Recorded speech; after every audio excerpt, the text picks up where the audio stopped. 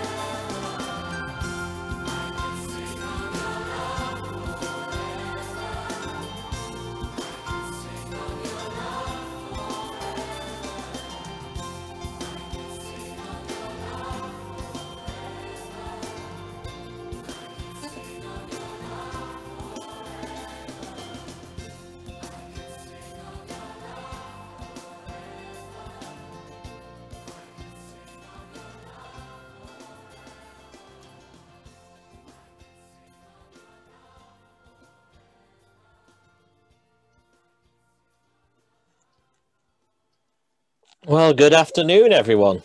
Welcome to Messy Church in a Bag as we uh, gather to uh, look at the last bag that we've been doing, or the latest bag we've been doing. All you need is love. I was almost tempted to go, "Da, da, da, da, da," but uh, I'll leave that for later. I hope you've all got good singing voices on you this afternoon and you're all ready to uh, join in with the singing that we'll be doing. Uh, but thank you for being with us and thank you for being a part of Messy in a Bag. One day we might get to do Messy Church together in one real place. You remember those days when we used to be able to meet with other people? Fantastic times.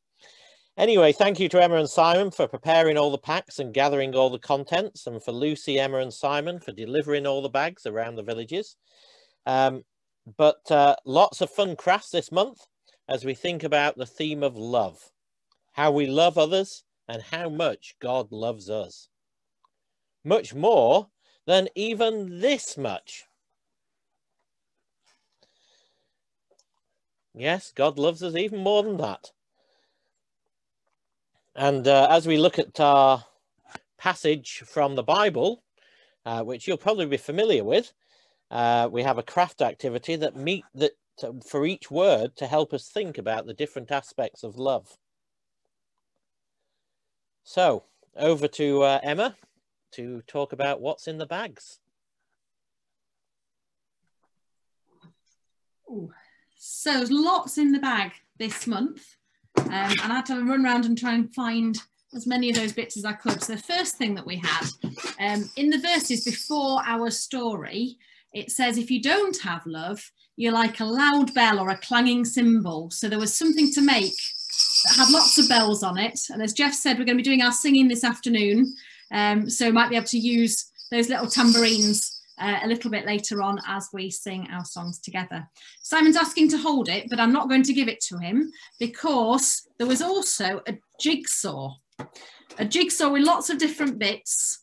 And anyone that knows me knows I'm rubbish at jigsaws. So I'm just going to get Simon to make the jigsaw when we look at the other things that were in that bag.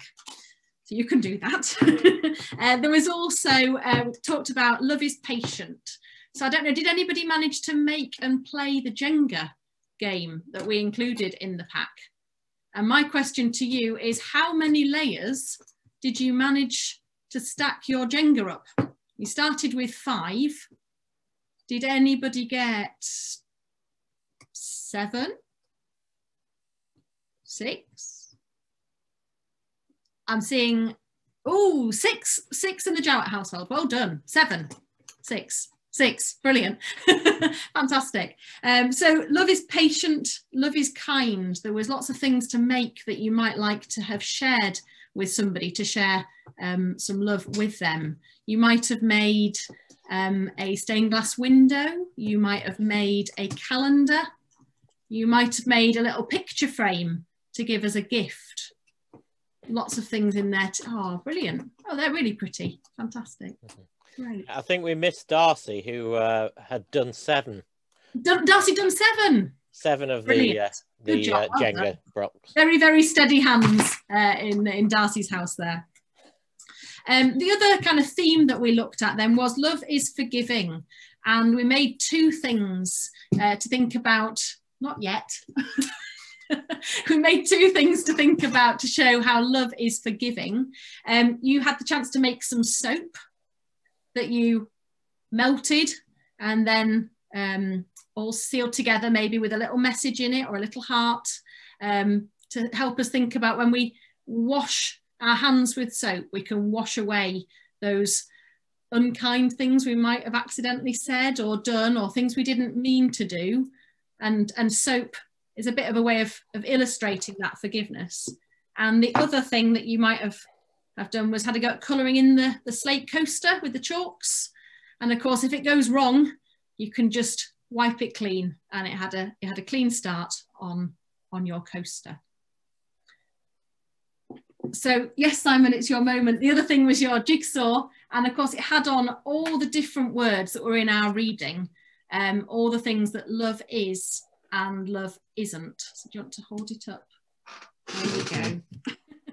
so I could see lots of other people with their jigsaws there. Um, so some brilliant things made um, and, and maybe some things given away to show us what love is, love isn't. And of course, uh, we've always got the love of Jesus with us. Well done. Back to you, Geoff. Right. Well, we're going to sing our first song. Jesus loves me, this I know. A good old fashioned Jesus love song.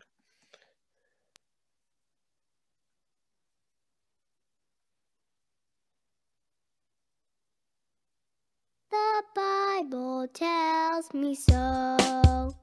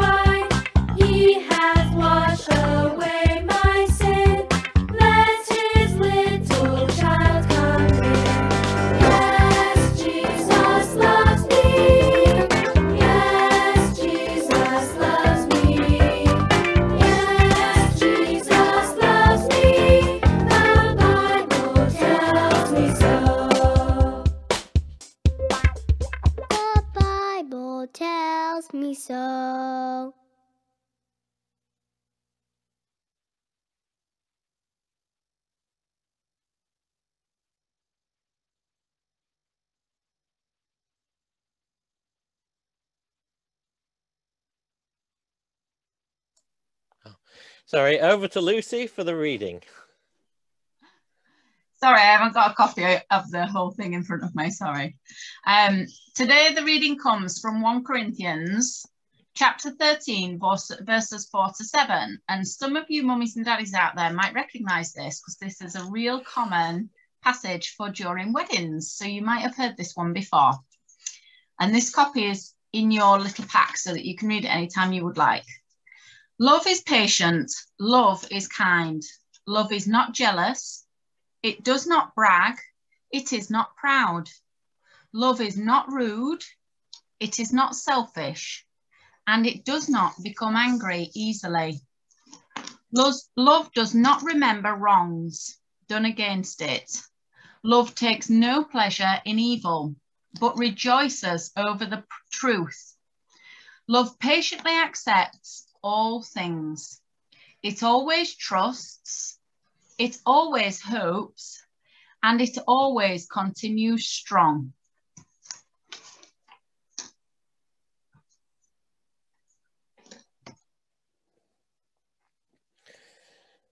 And now we're going to do a, a little bit of a fun exercise.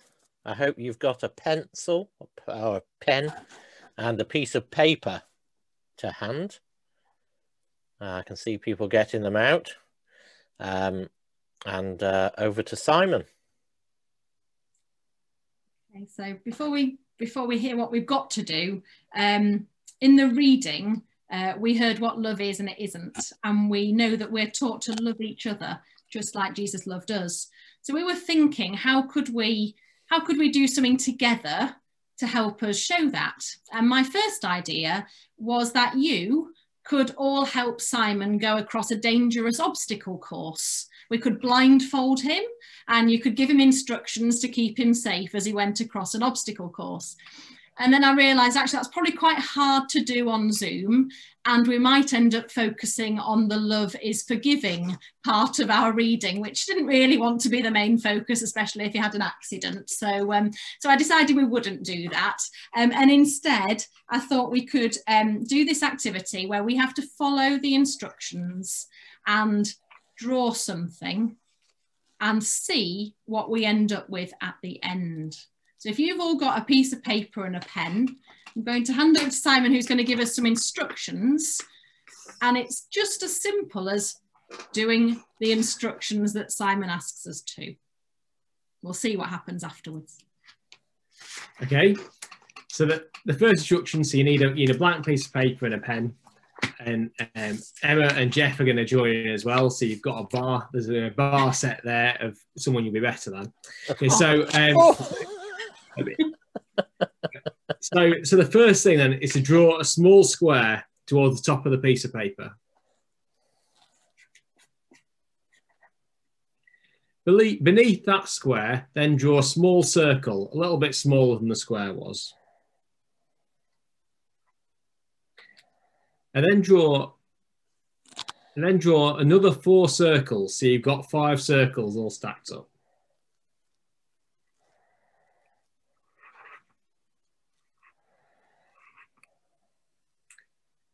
And then to the right hand side of those circles, you need to draw two ovals, one pointing diagonally up and one pointing diagonally down.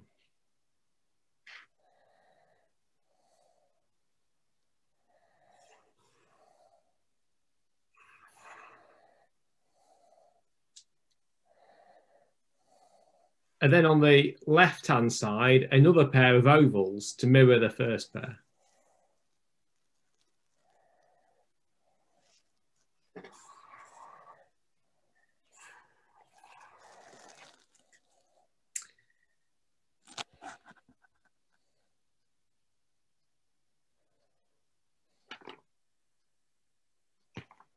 And then, so finally, um, so out the top of the square, you need to draw a line, a, a curved line that comes out the top of the square and goes off to one side.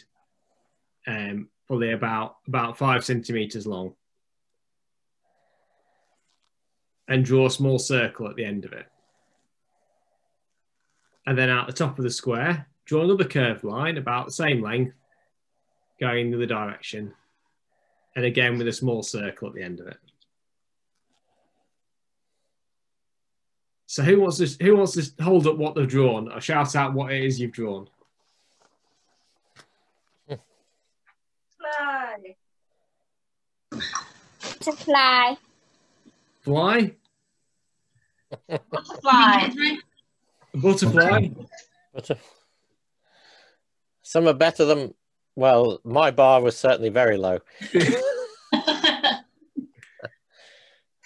Yeah. So that was what I was trying to describe. So yeah, lots of butterflies look quite a lot on mine. no. I think that was pretty good as a starter, especially as we didn't know what we were drawing.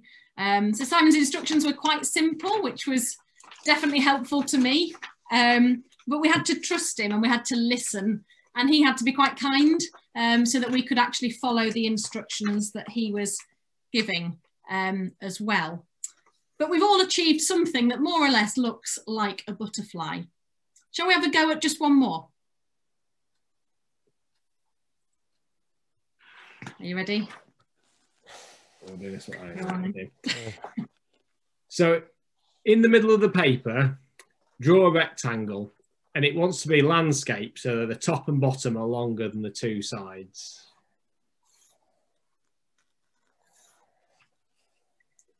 And then to the right of that, you want to draw another slightly smaller rectangle, but taller than the first one. So the, se- so the second rectangle is portrait and a little bit taller than your first rectangle.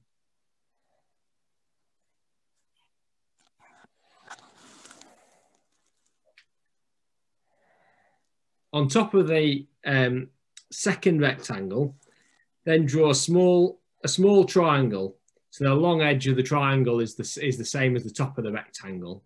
So you, you just have to draw two extra lines.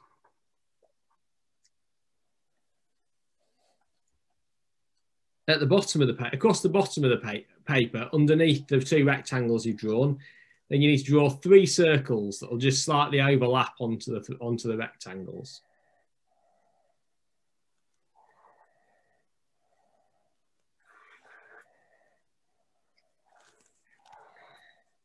And then, sorry, I can see what Emma's drawing. I'll try not to laugh. Uh, and then in the middle of each of those circles, Love is kind. yeah, that's why I'm not laughing. In, in- in the middle of each of those circles, then draw two. uh, In the middle of each of those circles, draw a draw a smaller circle. So you're drawing another three circles.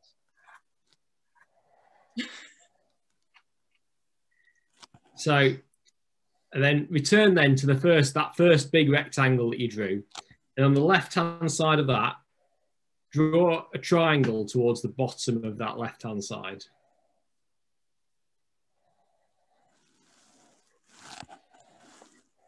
And on on top of that rectangle, draw draw a small square.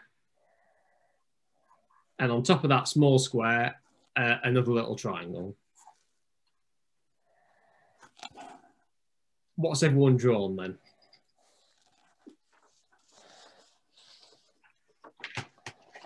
And what you Oh, do. look at them. Yeah, it's exciting. There you go. Train. Train. There you go. Yeah. Well done. That's straight. Oh no, I've got the window.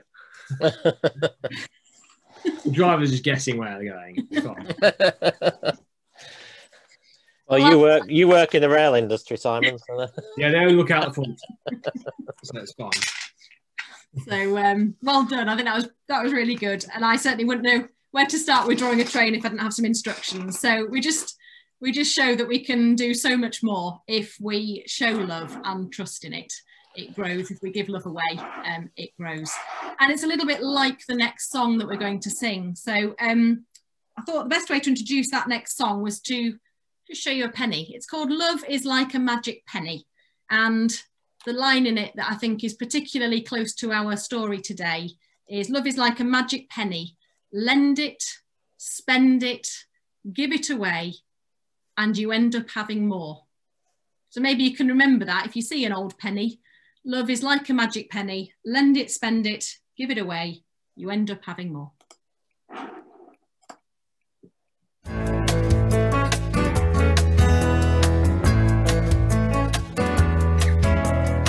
Love is something if you give it away, give, Give it it away, away. give it away.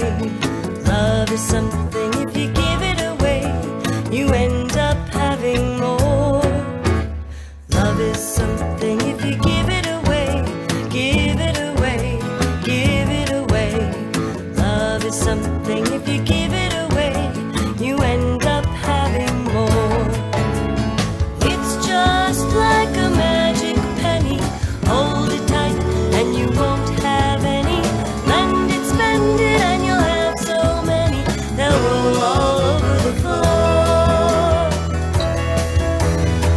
Love is something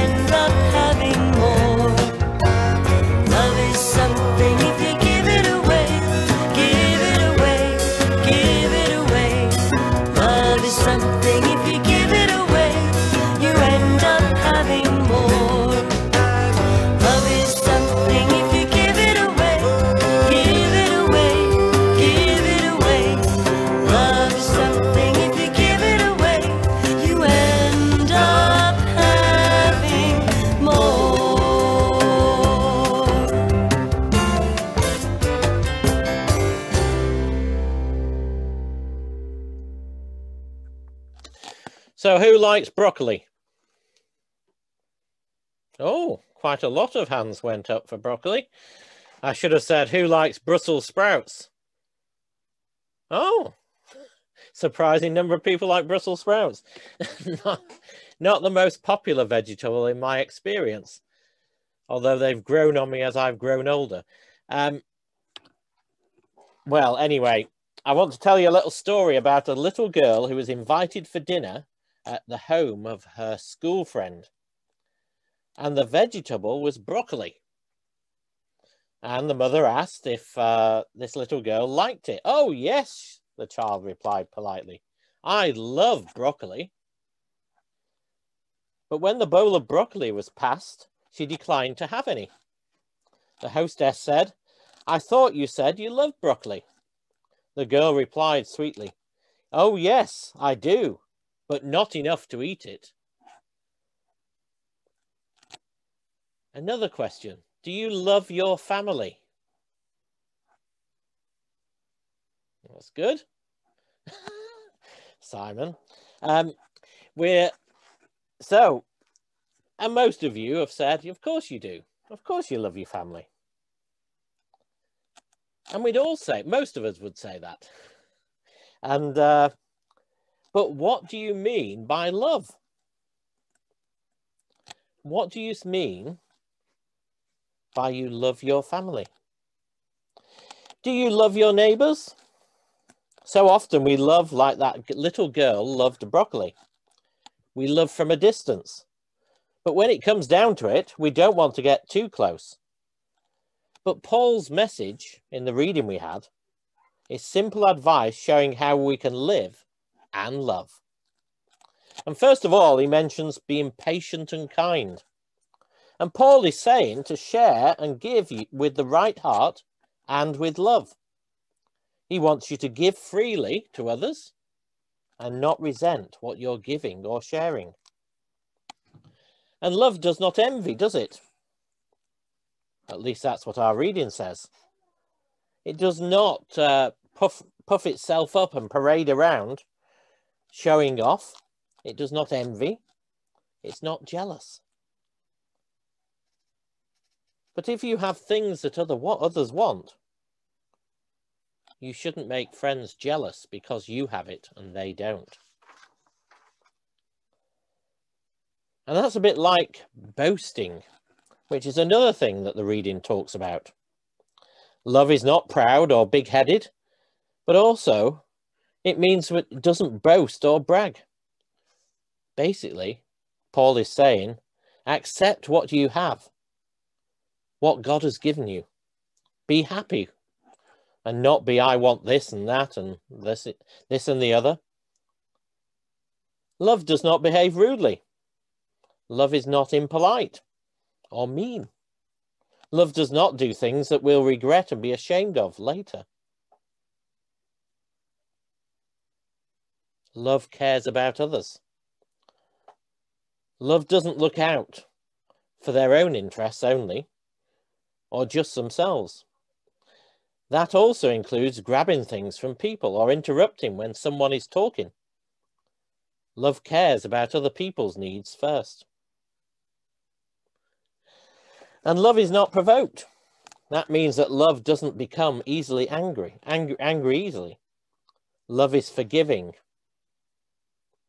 So always take time to pause and reflect before responding. And love rejoices in the truth, in the good things of life. It doesn't do wrong things, things that we know we shouldn't do. To be happy is to do what is right. And love bears all things. It trusts. It always hopes. It always puts up with things, even if they're not the things we really want to put up with. But it never gives up. It never fails.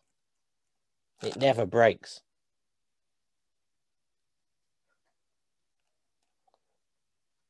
In other words, if you love someone or something, you never stop trying. You just keep on loving even sometimes when it hurts.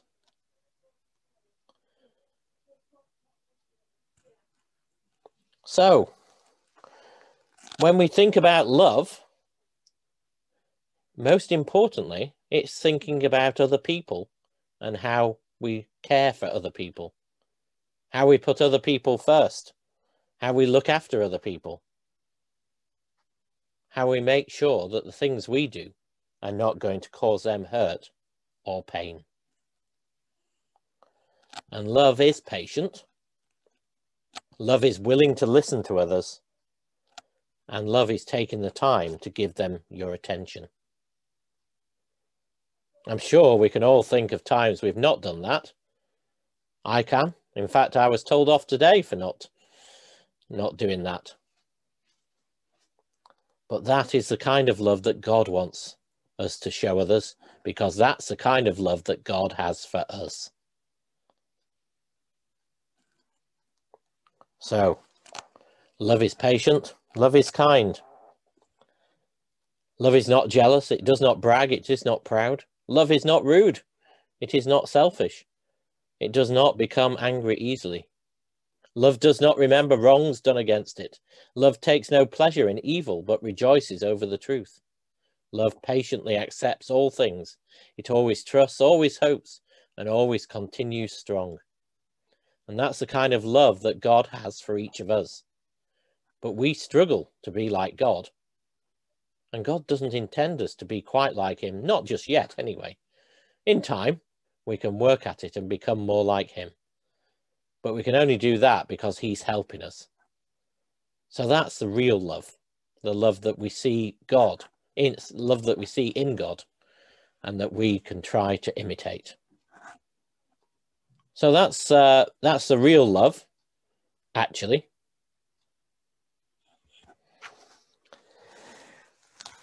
So now I think Lucy's going to lead us in some prayers.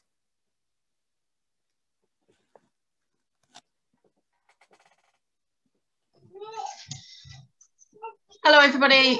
Firstly, I want to ask everybody who is going to school at the minute. Hmm, Are you going to school? You got a little bit, don't you? Who's not been to school for a long, long time? Me. I've not been to school for a long, long time. Who will be going back to school soon in the next few weeks? Are we all excited about it? Are the mummies and daddies all excited about it? Mummy, you're so excited. Who knows somebody who's going back to school in the next couple of weeks? Everybody. Everybody can think of somebody if it's a neighbour or a family member. Kyra. Kyra, Carol, they're going to school. So I need you to be quiet. Okay. So I want, while you're thinking about those people in your head who are going back to school soon, and you might be a little person who's going back to school soon, or you might have some friends who are going back to school with you, I want you to think about that line love is patient and love is kind. Because it's quite frightening these next few weeks, isn't it? What's going to happen in these next few months as we come out of this horrible lockdown that we've been in, and there is light at the end of the tunnel because we are getting our vaccinations and we're going to be able to mix again. So while we're doing our prayers today, I just want you to think about going back to school, all the people are going back, and love is patient, love is kind, all those little things that love is that Geoff's just talked about. Keep them in your head while we're praying. Okay, so let us pray. Lord, we praise you that you are fully in control of all things. We pray that you will protect these children and keep them healthy and help them to thrive. Watch over them in all areas of their life and keep them safe. God, we thank you for the gift of knowledge. We praise that you have given us the ability to think and to question the world around us. As these children that we're thinking about and these children on this call join their schools again, help these children to learn well and to flourish. May they be kind and patient with their friends and their families and their teachers. And together, I pray they help, they discover their own unique talents. Give them passion, Lord, for the new world around us. Amen. Amen. Good girl.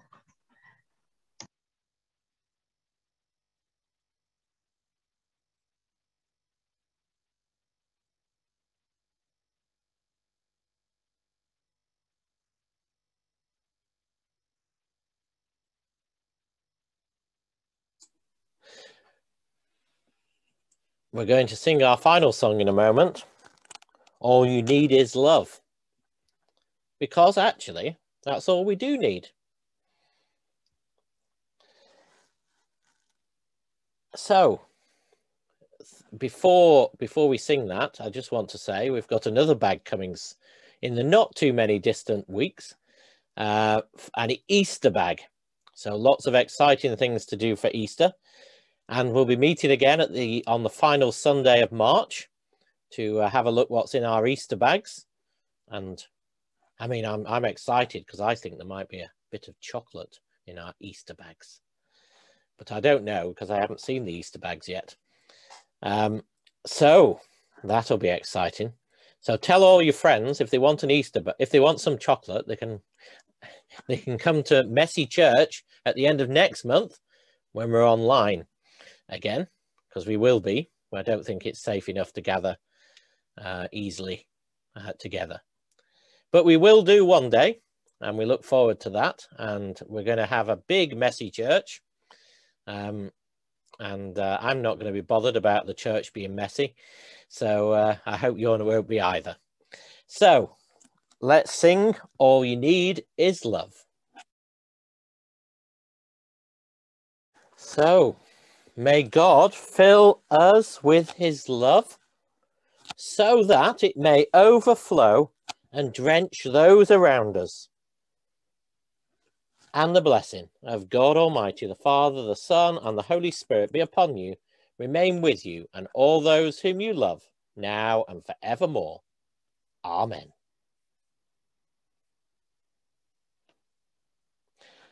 Thank you for joining us. See you next time.